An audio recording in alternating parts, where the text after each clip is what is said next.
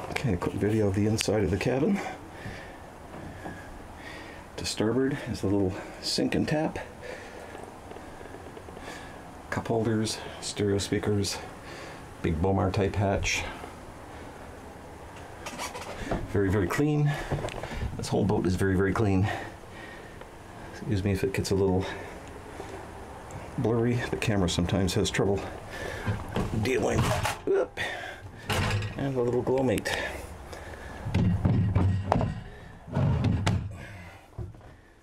And under here is a, can't see it, but there's a porta potty.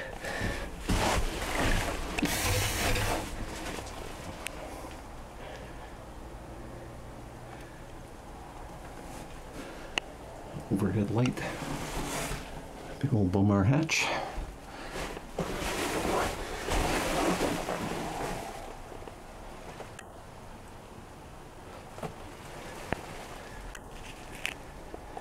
See the upholstery is very, very clean.